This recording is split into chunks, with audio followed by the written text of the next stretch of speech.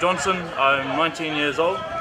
Um, originally a Cairns boy, but uh, born and raised in New Zealand. Uh, my first um, junior rugby league team was back home in NZ, uh, Mangere East, Bronx. Oh, every forward lost to be a half at times, but I suppose um, I like playing uh, prop, just run it straight and get smashed. Probably the best trainer for me was um, either Swain or Ben Groves. They play like similar position and they always they always got your back. They're always in your ear telling you what to do, so you don't look silly on the field. Um, worst worst person to train with, oh, probably Jodeci when he was here because he talks too much. My debut for um, A grade that was up in Tully, I had to play two games, oh, that was pretty good. Bloody sore after.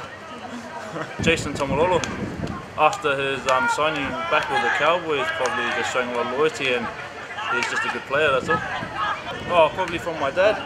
Just every single game, he just tells me go hard, play hard, and just smash whoever runs the ball at me. nah, I don't know, I don't know. Probably be the rock. Every, every island I want to be the rock. I try not to um, to eat, otherwise it makes makes me full. I like to um, stay hungry. If I'm hungry for food, then I want to smash anybody. when I'm hungry, I'm angry. Probably take my partner because she's got good head on her shoulders. Probably keep me sane as well.